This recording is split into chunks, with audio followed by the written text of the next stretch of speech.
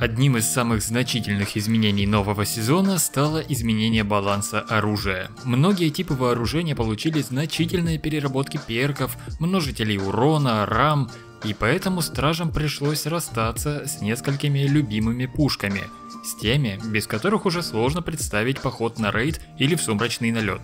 Самой большой потерей стала, конечно же, анархия и ее нерв. У нее уменьшили боезапас, а также снизили урон по боссам на 30%.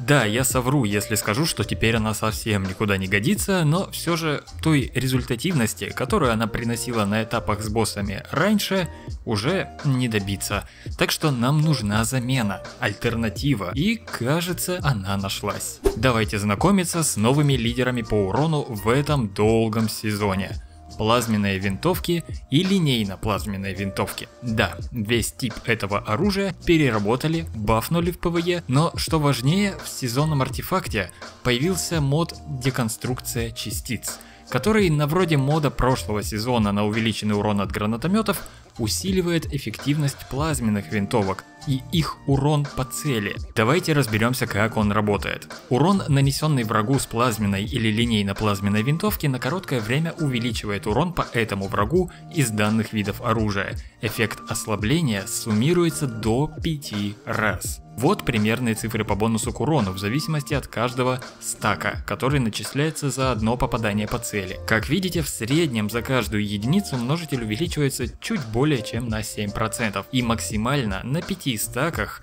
вы увеличите урон по цели с плазменной винтовки более чем на 40%.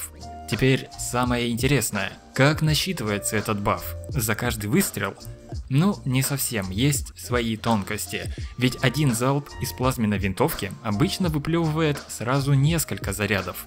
Так вот, каждый из этих зарядов накидывает дебаф независимо от остальных. А значит, если вы одним выстрелом, состоящим из пяти зарядов плазменной винтовки попали по боссу, то вы сразу вешаете на него дебаф в 5 раз, максимальный, на 40%. Теперь давайте отдельно несколько типов и пушек разберем, и то, как они активируют дебаф. Большинство легендарных плазменок, стандартных так сказать, за каждый заряд выстрела. Мифоборец Вексов дает по одному стаку дебафа за каждый выстрел как в обычном, так и в линейном режиме. Телеста по одному стаку за каждый заряд выстрела и каждый взрыв. Тысяча голосов и выстрел и взрыв, каждый считается отдельно. Усыпляющий симулянт, прямое попадание или рикошет вешает по одному стаку, Однако, в случае с Телеста или Тысячу голосов, все работает не так стабильно, так сказать. Вероятнее всего тут сказывается или чистота кадров игры, или иные внешние силы, но иногда это оружие накидывает дебаф на врага не за каждый тик урона – Поэтому рекомендуется использовать обычную плазменную винтовку, например, на скорострельной раме, вроде декартовых координат или хладнокровия пустоты. И да, ваши напарники, даже если у них нет мода деконструкция частиц, также будут получать бонус к урону при использовании плазменных винтовок. Но разумеется, копить множитель они не смогут, он будет зависеть только от попаданий игрока с модом. А теперь еще одна супер важная деталь. Если вы сначала активируете дебаф от мода, а затем примените другой дебаф, скажем, стрелу ночного охотника или эффект от экзота буксировочная пушка, их эффект суммируется, что просто безумные цифры позволяет получить.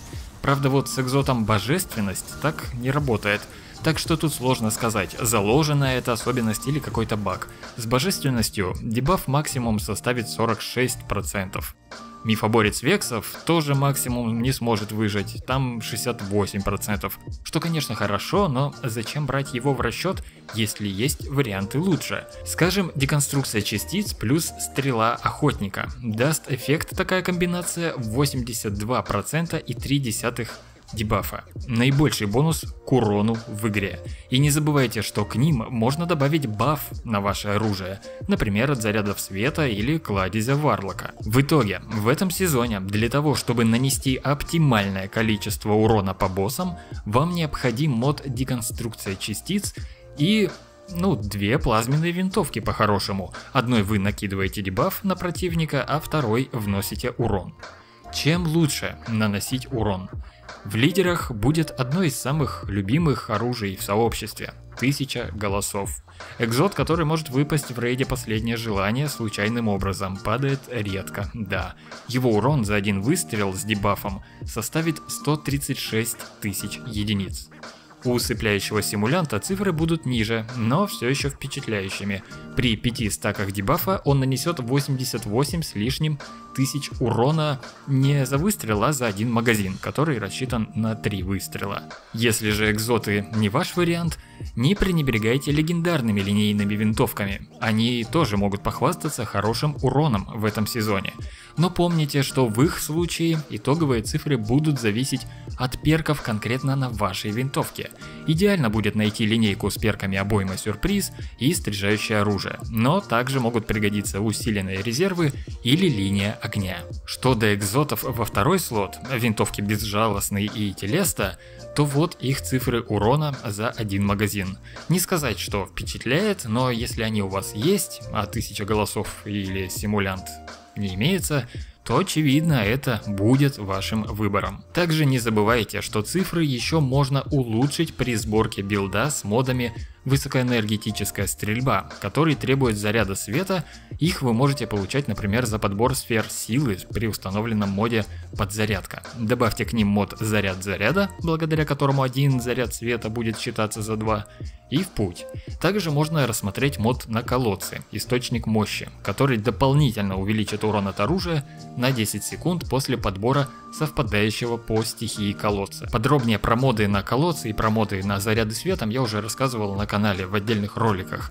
Но скоро мы вернемся к этой теме, чтобы учесть все свежие изменения в них. Что ж, надеюсь это короткое видео было вам полезно. Я бы считал его одним из самых нужных в начале сезона. Все же большинство игроков сейчас элементарно в растерянности и не знает, как наносить урон по боссам. Так что я был рад пролить на это свет.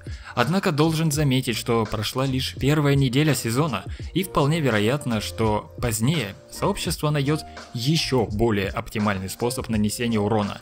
И если это произойдет и инфа в этом ролике перестанет быть актуальной, я запишу новое видео. Чтобы не пропустить новые ролики, не забудь подписаться на канал. Спасибо, что досмотрел до конца. А вот этим ребятам отдельное спасибо за оформление спонсорской подписки. Ваша поддержка крайне важна. Подробности в описании видео. До связи.